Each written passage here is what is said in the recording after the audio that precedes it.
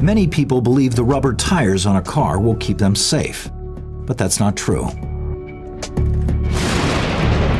It's the car's metal body that provides protection. As this high voltage experiment will demonstrate.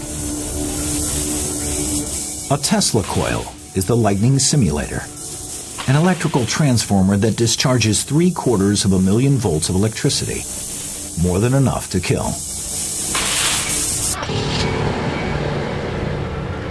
Dr. Lisa Lazareck is an electrical engineer who's willing to sit in a car underneath the coil to prove that the metal body will protect her.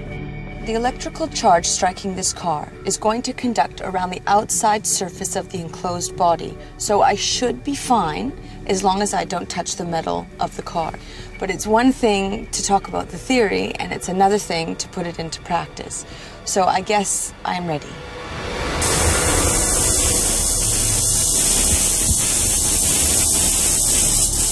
The electrical charge flows around the metal body of the car and discharges harmlessly to the ground.